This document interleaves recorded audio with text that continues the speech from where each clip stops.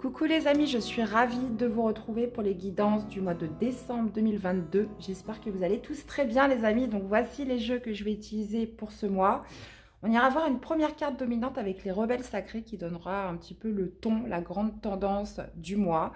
Suivi du tarot Ferenc Pinter et tarot de l'intuition pour détailler un peu plus vos domaines de vie. Deux cartes supplémentaires avec l'oracle des Médéors et un petit conseil du petit oracle de l'arbre de vie. Donc, gardez votre bon discernement, les amis. Hein, c'est une guidance générale. N'hésitez pas aussi à aller voir vos autres signes pour compléter les informations.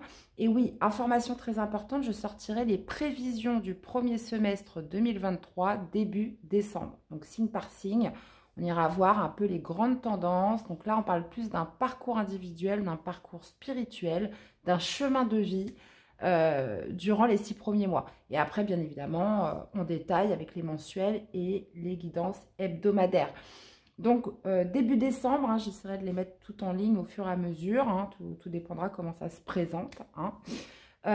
dans tous les cas, je vous remercie énormément d'être là, de votre soutien, fidélité à la chaîne, pour tous vos beaux messages. Vous pouvez même pas vous imaginer comment ça me fait chaud au cœur. Donc, donc voilà, un grand merci infini. C'était la première année de la chaîne. Donc, euh, grosse année. Et, sincèrement, je, suis très heureuse euh, voilà, de tout ça, de, tout ce qui est en train de se déployer, euh, de vous retrouver chaque semaine, chaque mois, tous vos beaux messages. Donc un grand merci infini à tous, pour toutes les personnes qui me suivent depuis le début et puis bah, pour toutes les nouvelles personnes qui, qui arrivent. Donc, donc voilà. Euh, bah écoutez, bah c'est parti. Donc je vous souhaite à tous une très belle lecture, hein, très belle guidance. Et c'est parti pour les tirages. Coucou les amis taureaux, j'espère que vous allez bien. Allez, c'est parti. Premier message des rebelles sacrés pour votre mois de décembre 2022. Allez, quel est le message pour ce mois des rebelles sacrés pour mes chers taureaux on parle du pouvoir de l'attraction, de, oh là là, de l'attraction, l'attraction, pouvoir de l'attraction, le fait de manifester quelque chose de lumineux, les amis. Et on vous dit en plus, faites de beaux rêves. Donc là, il est question euh, potentiellement de croire euh, en l'effet euh, de ce que vous projetez. Hein. Visiblement, ce que vous projetez a tendance à revenir vers vous avec ce pouvoir de l'attraction. Donc, visiblement, est-ce qu'il y a une personne qui va... Est-ce que vous allez attirer une personne? Est-ce qu'il y a une personne qui va revenir vers vous euh, Ou une situation hein, euh, qui peut aussi revenir à vous? En tout cas, on vous dit, faites de beaux rêves. Donc, c'est quelqu'un euh, ou une situation, c'est peut-être que vous en rêvez la nuit. peut-être que vous pensez beaucoup à, cette personne ou cette situation et à cette, cette, cette notion ce mois-ci de l'attirer à soi, de le faire venir, de le faire revenir. bon, euh, écoutez, on, va aller voir. Ok, ok. Dans tous les cas, on vous parle de beaux rêves. Donc, euh, visiblement, c'est quelque chose de beau, mes chers taureaux. Allez, on va aller voir la suite. On va aller voir la suite euh, pour ce mois de décembre. Allez, pour les taureaux, mois de décembre 2022. N'hésitez pas aussi à aller voir vos autres signes, ascendant lunaire et le Vénus. Hum, hum. Ouais. Euh, on sort d'une certaine mélancolie, hein, euh, insatisfaction. Donc euh, là, on projette de nouveau sur quelque chose de beau. Alors, les taureaux, comment vous démarrez ce mois de décembre? On va aller voir également le défi, le challenge. Regarde si ça tourne, les amis, c'est bon. Parce que j'ai pas mal de péripéties en ce moment. Alors, on continue. L'aspect positif de votre mois, on va aller voir également le sentimental, que vous soyez en couple ou célibataire, l'aspect professionnel, les activités, le relationnel familial, les personnes qui vous entourent, le spirituel, comment vous vous sentez à l'intérieur de vous, et l'issue du tirage ou du mois. J'irai développer après avec le tarot de l'intuition pour toutes les personnes qui n'auraient pas vu éventuellement l'intro. Alors, reine de bâton. ouais, vous reprenez en force, vous reprenez en pouvoir. Il y a cette notion quand même de de, séduction qui ressort. Hein. je le sens comme ça avec cette reine de bâton. On a envie de séduire, on a envie de plaire. On a envie de mettre ses atouts en avant, hein, parce que vous projetez. Avec le 3 de bâton, vous projetez, vous, vous visualisez un certain euh, résultat. Il y a cette notion d'attente. hein, de, manifester quelque chose. Hmm. Alors, on a le 2 de bâton. Comment vous commencez le mois? Qu'est-ce que vous avez en défi? Bah, Le pendu. Bah oui, forcément, s'il y a une situation de bloqué, c'est normal que vous projetiez, hein, vous visualisez. On a le 7 d'épée. On a le 7 d'épée dans l'aspect positif. D'accord. Vous avez le 6 de denier dans l'aspect sentimental. Vous avez la reine de denier au niveau professionnel. Vous avez l'as de coupe. Elle est marrante cette image. L'as de coupe euh, relationnel familial. On a le 6 de coupe. On a le 6 de coupe au niveau spirituel. Et vous finissez avec le 2 de denier. Ok. Bon, qu'est-ce qu'on a comme arcane majeur? On en a un, mes amis taureaux. On a le pendu dans votre défi. Sinon, qu'est-ce qu'on a? On a du denier, on a du bâton, on a de la coupe et on a un épée. Euh, ça va plutôt pas mal. D'accord. Bon, on va aller voir ce que ça nous dit. Donc, alors attendez, j'étais sur un fil là. Ouais, j'ai l'impression que vous projetez, il y a quelque chose dont vous avez vraiment envie, un rêve, quelque chose que vous souhaitez, vous êtes dans l'attente de quelque chose, les taureaux. Donc, euh, c'est pour ça qu'on a le pouvoir de l'attraction, il y a cette notion, voilà, d'attirer quelque chose à soi de manifester une envie, un désir. Euh, et ça pourrait être lié au passé, hein, euh, par rapport à une certaine nostalgie du passé. Ok. Bon, on va essayer de comprendre. Alors, vous démarrez ce mois de décembre, mes chers taureaux, avec le 2 de bâton. Donc, le 2 de bâton, c'est de faire un choix, c'est de prendre une nouvelle voie hein, ce, mois-ci. Vous prenez une nouvelle direction où vous êtes confronté à un choix. Peut-être que vous n'allez pas la prendre tout de suite, mais c'est comme si il y avait deux voies, voilà laquelle je prends. Euh, votre défi, votre challenge, c'est le pendu. Donc visiblement, ça va être de débloquer une situation. Euh, on parle d'une situation, d'une relation, quelque chose qui est en pause, quelque chose qui est à l'arrêt. Donc là, il va être question euh, potentiellement de prendre du recul par rapport à ça et de, voir un peu les choses de manière différente, de changer un petit peu son angle de vue. C'est marrant parce que le pendu, euh, là, je vous êtes le cinquième signe, je l'ai eu dans tous les tirages. Il y a des cartes qui ressortent, hein. on a beau mélanger, faire tout ce qu'on veut, il y a quand même des grandes, comment dire, des grandes lignes directrices hein, au fur et à mesure des mois. Et, là, j'ai l'impression qu'il y, a beaucoup le, pendu. Bon, bref. Euh, bah, j'en étais où moi? Donc voilà, donc le, fait de débloquer une situation, de, de, sortir d'une situation de pause. Et c'est pour ça que vous êtes confronté, euh, hein, possiblement, à un choix sur ce début du mois de décembre euh, par rapport à ce qui est bloqué. Ce qui ressort de positif, on a le 7 d'épée. Alors, le 7 d'épée dans sa version positive, c'est faire preuve de stratégie, c'est faire preuve de ruse, c'est aussi faire preuve d'intelligence dans quelque chose.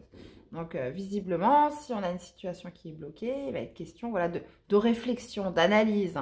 Euh, on est sur des, énergies très mentales, très cérébrales. vous voyez, le pouvoir de l'attraction, c'est de manifester quelque chose que vous voulez. C'est de manifester euh, voilà, quelque chose qui potentiellement est en pause ou bloqué en ce moment. Et voilà, de se mettre en valeur, de, de, de penser hein, par rapport à ça.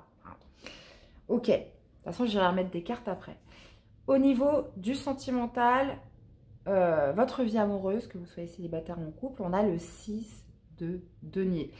Donc ça peut être, euh, ça peut être une belle connexion avec quelqu'un dans votre couple. Euh, cette notion d'équilibre dans l'échange, je donne, je reçois.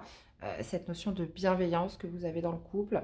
Ça peut être aussi bah, inversement, hein, justement, quelque chose dont vous ne recevez plus rien. Hein, il est possible que vous donniez. Et, là, on pourrait être en corrélation avec le tirage parce que vous donnez, vous investissez beaucoup dans une relation, vous êtes bienveillant, vous souhaitez partager votre temps, vous souhaitez être dans le partage avec quelqu'un et vous ne recevez pas en retour. Donc, euh, potentiellement, on a peut-être un choix qui s'impose par rapport à ça. Ou alors, ça peut être justement de, de, de donner plus, de s'investir plus dans sa relation. Et là, vous avez un choix qui s'impose à vous. Mais moi, je vous sens plus que dans une situation d'attente. On projette quelque chose. il y a peut-être euh, cette notion, si vous voyez, on est dans un déséquilibre dans le donner et le recevoir, le fait de, sortir un petit peu ses atouts, ses dictions, de sortir un peu, euh, euh, comment dire, de, se mettre en avant, de s'affirmer, parce que, voilà, on a l'impression de plus donner et de ne pas recevoir ce que l'on veut en retour. Donc, c'est peut-être, il y a peut-être quelque chose de bloqué. Hein. Donc, à creuser, les amis. Au niveau du professionnel, on a la reine de denier. Donc, euh, la reine de denier, c'est quelqu'un qui maîtrise très bien ses affaires, sa vie financière, sa vie matérielle, sa vie professionnelle. on est sur des énergies de terre, on est sur des énergies de concret. Euh, la reine de denier dans le domaine professionnel, c'est quelqu'un qui va assurer ses finances, qui va... Euh, il y a cette notion de production et cette notion vraiment de grande maîtrise dans votre milieu professionnel. Donc là, vous pourriez avoir à gérer euh, quelque chose voilà, qui demande justement de la maîtrise et euh, cette idée, potentiellement aussi ce mois-ci, d'être de, d'être dans le bien-être, hein, de se sentir bien à son travail, bien dans ses activités. on est dans une position où on se sent dans, dans, quelque chose d'harmonieux, avec une équipe de travail. ça pourrait être aussi de, changer un peu sa vision des choses par rapport à son travail. On se rend compte que au final, c'est pas si mal. On se sent plutôt bien. Euh, on est à ça, on est estimé à sa juste valeur. Vous voyez, c'est la reine de denier, c'est tout ce qui a euh, les deniers de toute façon en général, c'est tout ce à quoi vous accordez de la valeur. Donc avec une énergie de reine, il y a vraiment cette notion de, de, se sentir, euh, comment dire, à sa place, de se sentir en valeur à l'endroit où on est ou dans une activité. je sais pas, moi je pourrais vous donner un exemple. Si vous démarrez une activité, ça peut être le yoga, euh, comment dire, euh, peu importe ce que c'est, la pétanque, euh, je sais pas. Il y, a, cette, cette, cette, idée de, ressentir du bien-être, de, se dire, bah tiens, ça s'est fait pour moi, je me sens bien, ça me fait du bien, hein, les amis. Au niveau du relationnel, familial, on est sur l'as de coupe. Donc là, il y a quelque chose qui, où vous vous sentez connecté à votre cœur. Hein. ça peut être L'as de coupe, ça peut être aussi le grand amour, forcément. Donc, euh, c'est possible. On peut être sur un nouveau projet de cœur, quelque chose qui va connecter avec vous dans votre relationnel euh, familial. Visiblement, on est sur le fait d'être en connexion à son cœur, potentiellement par rapport à quelque chose dont euh, on prenait la fuite jusqu'à présent, quelque chose qu'on ne voulait pas voir, quelque chose qu'on... potentiellement, il y avait un déni et aussi, surtout, euh, quelque chose qu'on fuyait. Hein. J'ai l'impression que ça y est, vous êtes enfin, euh, enfin sur ce mois de décembre, vous allez enfin être en paix avec votre cœur. Il y a cette, euh, idée de, connexion, de synchroniser avec ce que l'on ressent dans le cœur par rapport à quelque chose qui, qui a pu laisser en vous comme un sentiment de fuite ou de déni. Ça peut être aussi des médisances autour de vous. Euh, potentiellement, bah oui, euh, le 7 d'épée, c'est souvent les trahisons, les mesquineries, les choses comme ça, ou des fourberies. Euh, cette notion de, se réaligner à son cœur par rapport à un contexte relationnel familial là. Mhm. Donc, pareil, j'irai rajouter. Au niveau du spirituel, comment vous vous sentez à l'intérieur de vous, les amis? Bon, On a l'enfant intérieur, Hein, avec le, 6 de coupe, ça peut me rappeler justement d'une certaine nostalgie que vous avez par rapport à votre enfance. Euh, on reste euh, nostalgique par rapport à un certain passé. Euh, vous êtes un petit peu dans un état où on repense au bon moment.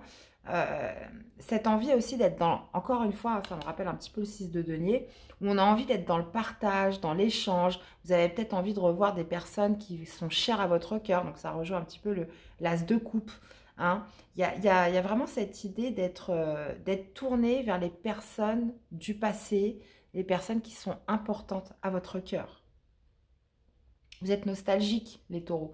Donc, euh, vous manifestez, vous allez attirer euh, ou une, situation du passé ou quelque chose dans lequel vous êtes en attente sur, sur ce mois de décembre.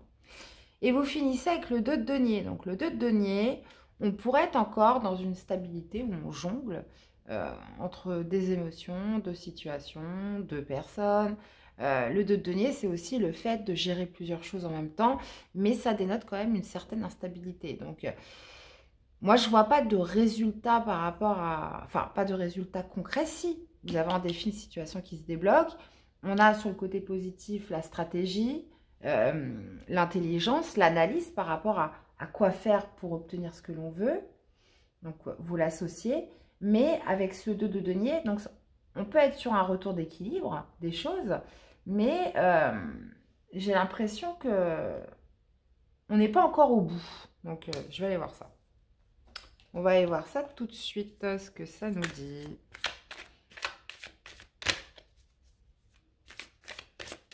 Allez, pour les taureaux.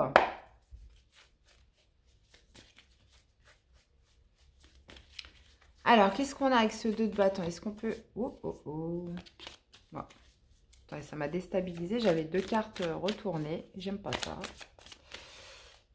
Alors, avec ce 2 de bâton, qu'est-ce qu'on a, les amis?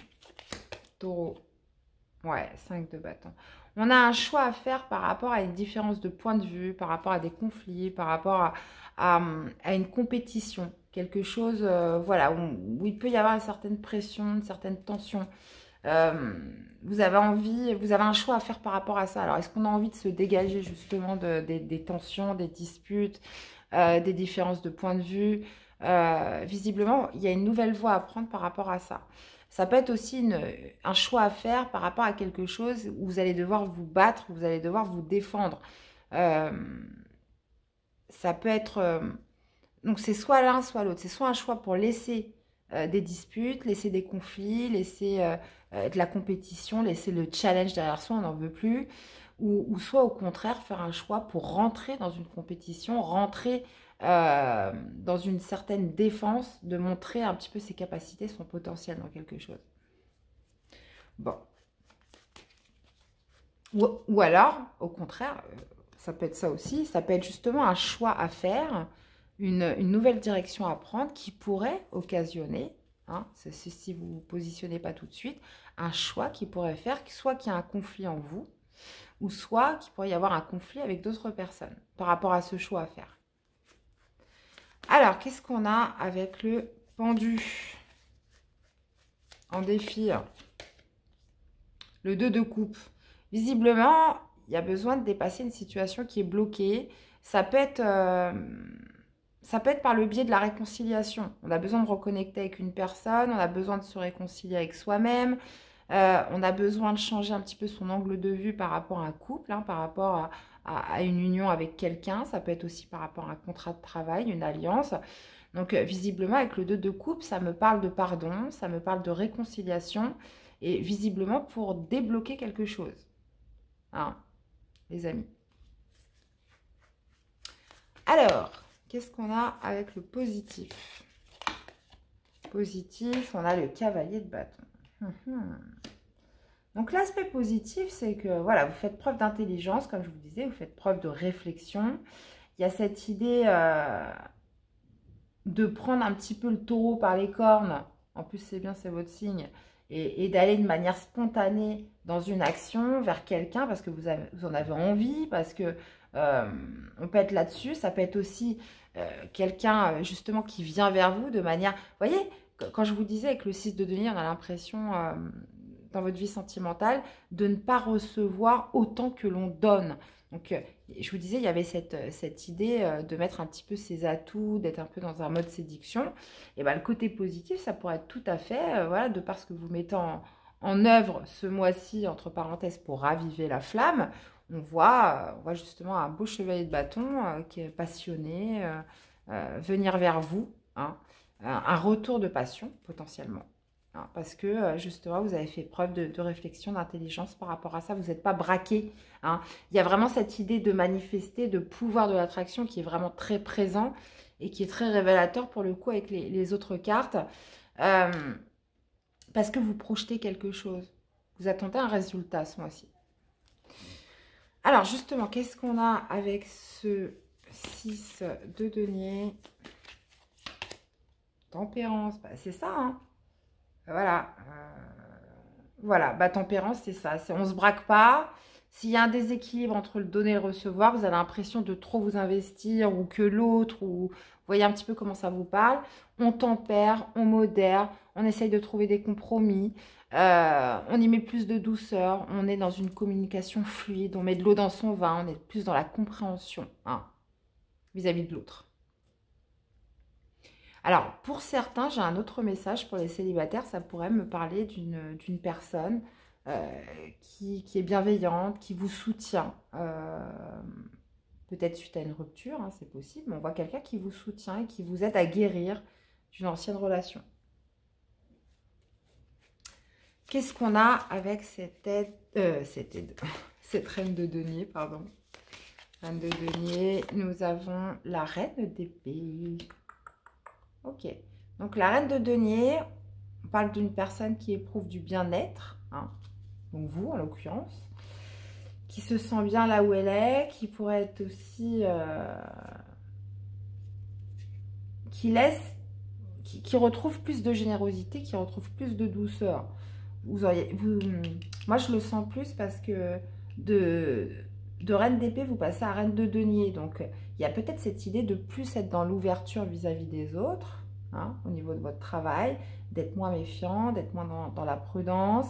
Euh, on ressort quand même un certain bien-être. Avec la reine d'épée, on pouvait être quand même assez froid, assez tranchant, assez dans son coin. Et, là, visiblement, ce qui prédomine quand même, c'est cette reine de denier qui est beaucoup plus dans, l'ouverture, la générosité vis à -vis des autres. Au niveau pro. Donc, vous voyez,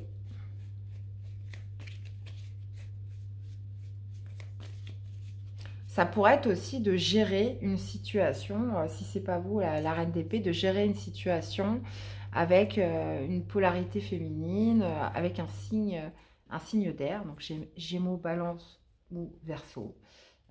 Quelqu'un voilà, d'assez impartial, d'assez froid, de se rapprocher d'une personne comme ça, ou potentiellement d'échanger avec une personne voilà, qui pourrait être assez tranchante, assez froide vis-à-vis de vous, ça pourrait être aussi euh, justement de d'éprouver un bien-être, mais aussi, euh, mais aussi euh, comment dire, de, mettre au clair une situation. Vous me direz. Alors, qu'est-ce qu'on a avec cet as de coupe sur le domaine relationnel familial? On a le roi de coupe. Ah, ok. D'accord. Donc, il y a un retour d'équilibre émotionnel dans sa vie euh, familiale, relationnelle. Il y a cette idée voilà, d'être en connexion avec son cœur, potentiellement, comme je vous disais, hein, je, reprends hein, par rapport à quelque chose que vous fuyez jusqu'à présent. On accepte ses émotions, on les assume. Et visiblement, vous êtes dans l'acceptation de quelque chose sur un point de vue relationnel familial. Le roi de, de coupe assume ses émotions, assume ses ressentis. Donc là, vous êtes en connexion avec votre cœur sur quelque chose. Euh, donc ça peut être par rapport à d'autres personnes voilà, qui n'ont pas été euh, correctes ou honnêtes euh, envers vous. Ça peut être aussi vous par rapport à une situation précise.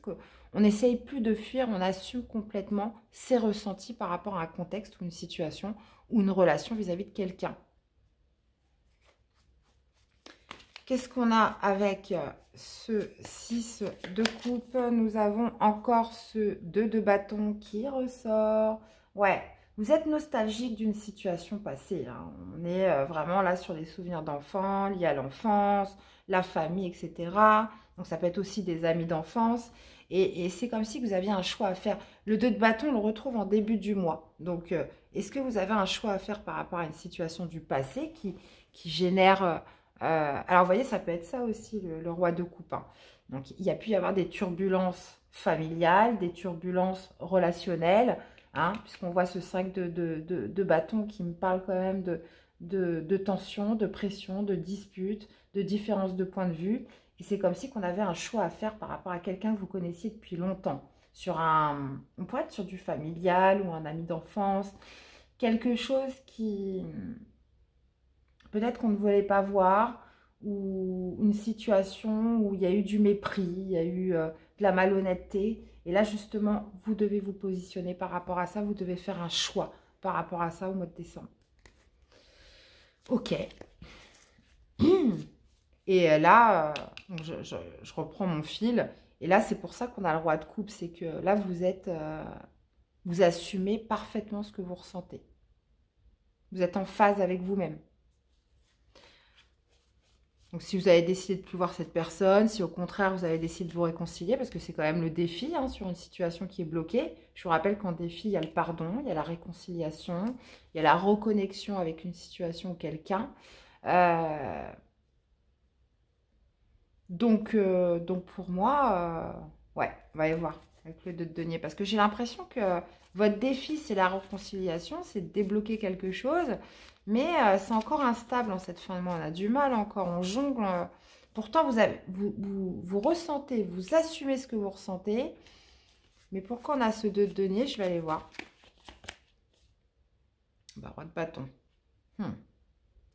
Roi de bâton. Ok. Ok. Bon, euh, roi de bâton, c'est voilà, c'est l'énergie un peu charismatique qui contrôle, qui est dans l'action, qui est dans l'assurance, etc. Euh, donc j'ai l'impression que vous assumez vos émotions, mais en même temps, il y a quand même, euh, y a quand même cette idée d'être porté vers une reprise de contrôle. Je vais remettre une carte avec le roi de bâton.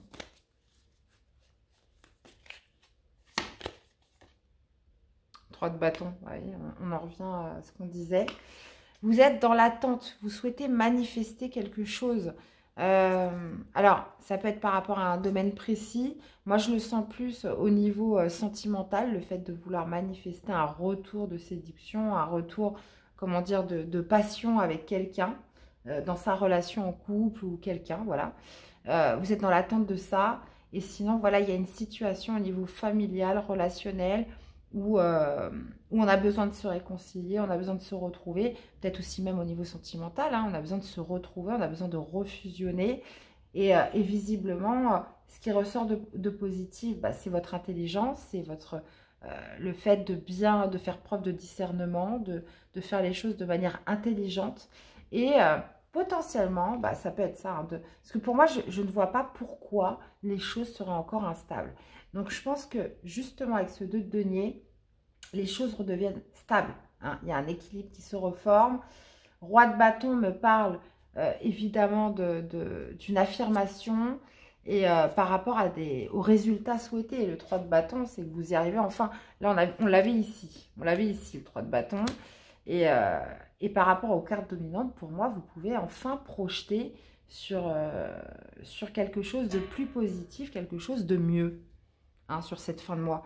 Et voilà, c'est pas pour rien que en dos de deck, vous avez le battleur, le nouveau commencement. Donc là, c'est comme si vous maniez un petit peu les choses pour arriver à vos fins, les amis. Mhm. Donc ça peut être au niveau sentimental, de se reconnecter avec quelqu'un. Ça peut être euh, justement d'assumer ce que l'on ressent dans son, relationnel. Euh, potentiellement pareil. Euh, de toute façon, votre défi, c'est la réconciliation. Donc j'ai l'impression que il va être question, euh, voilà, de, parce que vous allez mettre en avant, de vous réconcilier, d'apaiser, d'assainir une situation. On voit que vous avez un choix à faire par rapport à une nostalgie, quelque chose du passé. Donc, euh, bon. Ok, les amis. Allez, on va aller voir la suite. Allez, on va aller voir la suite pour le sentimental avec ce 6 de denier et, et tempérance. On va aller voir ce que ça nous dit. Allez, sentimental pour les taureaux.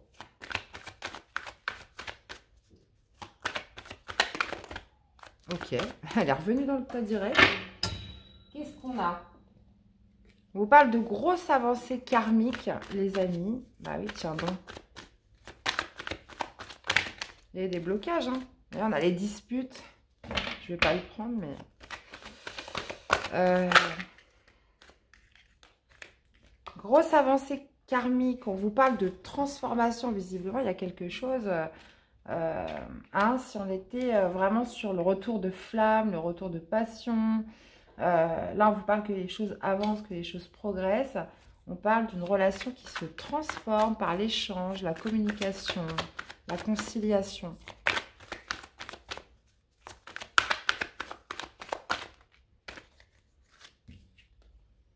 Amour durable. Bon, bah voilà. Hein amour durable. Euh, moi, j'ai l'impression que pour beaucoup, c'était vraiment de, refaire un petit peu rejaillir le feu d'une relation, remettre plus de passion. Euh, pour moi, on est vraiment sur quelque chose comme ça. Là, il y avait besoin de travailler sur vous, besoin de travailler sur votre couple, besoin de s'interroger. euh, besoin aussi de se réaffirmer. Donc, on voit une transformation dans votre couple, on voit quelque chose qui transite hein, vers un amour durable, retour de l'amour durable, retour de quelque chose de, de prospère. Hein. S'il y a eu des conflits, si, si on ne se regardait plus comme avant, qu'on ne prêtait plus d'attention comme avant, ou que vous ressentiez que votre autre euh, était moins dans la relation, moins dans le couple, là, il y a vraiment cette idée de retour de flamme, de retour de passion. Et là, visiblement, il y avait besoin de travailler sur vous, de travailler aussi sur la relation pour que les choses se transforment, pour, arriver, pour raviver ce petit côté, euh, ce petit côté flamme, ce petit côté piment qui font que, bah voilà, c'est super, euh, on est amoureux, tout va bien, et puis, et puis, et puis voilà, dans le meilleur des mondes. Bon, bah super les amis. Allez, une carte conseil pour vous accompagner. On la lune, intuition brillante et romantique, noire et mystérieuse. La lune t'invite à épouser tes parts d'ombre et de lumière. Ton intuition et ta sensibilité te rendent d'humeur changeante car tu te vois, car tu vois, pardon, le monde différemment. Accepte-toi, donne-toi de la douceur et utilise tes dons pour avancer sereinement. Donc on vous parle de votre intuition, les amis, et d'épouser vos parts d'ombre et de lumière. Donc voyez, quand je vous disais de travailler sur le couple, le fait de travailler sur soi, et de manifester quelque chose que vous voulez vraiment. Euh, on vous dit aussi d'utiliser vos dons pour avancer sereinement. Donc j'ai l'impression que c'est ça, vous utilisez en fait euh, votre intuition pour penser intelligemment, pour réfléchir de manière intelligente et pour amener les choses à vous, tout simplement, euh, les taureaux. Donc vous êtes super forts, vous êtes les best ce mois-ci. Eh bien, voilà les amis, dans tous les cas, j'espère que cette guidance vous aura plu, qu'elle vous aura surtout parlé, aidé. N'hésitez pas à me faire des retours dans les commentaires, dans les likes, c'est important hein, pour la chaîne, donc ça prend deux secondes, les amis. Je vous fais plein de gros bisous, prenez soin de vous, et puis bah, nous, on se retrouve, hein, n'oubliez pas, début décembre pour les prévisions 2023. À très vite Bye bye.